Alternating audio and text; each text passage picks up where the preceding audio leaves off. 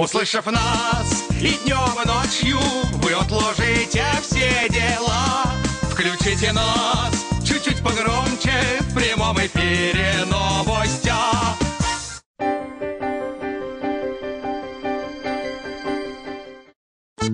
Перед микрофоном Макар Морковкин И Степан Сундуков, здрасте. никому ни за что не мстя передаем последние новостя. Международные новости. Министр иностранных дел Сергей Лавров подарил своему американскому коллеге Джону Керри Деда Мороза с новогодней елки в особняке МИДа. Видимо, со словами «Вот он пусть ваши хотелки исполнят».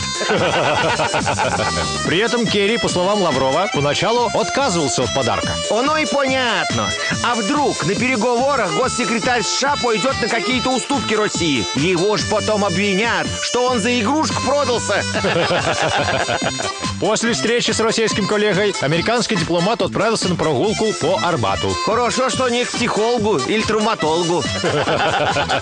Керри пообщался с москвичами, зашел в магазин и купил сувениров на 35 тысяч рублей. И откуда у госсекретаря США российские деньги? Ну, видимо, пошел-таки на какие-то уступки-то. Из всего ассортимента магазина его привлекли матрешка, куклы в национальной одежде и янтарные кольца. Интересно, что из этого для Обамы? Надеюсь, не куклы в национальной одежде? Российские новостя.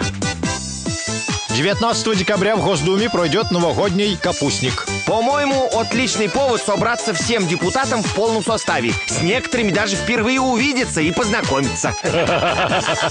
По словам одного из депутатов, в этом году фракции сдавали деньги на проведение мероприятия столько же, сколько в прошлом году. Но цены выросли, значит, стол будет скромнее. Так это ж хорошо. Значит, слуги народа смогут посидеть как народ.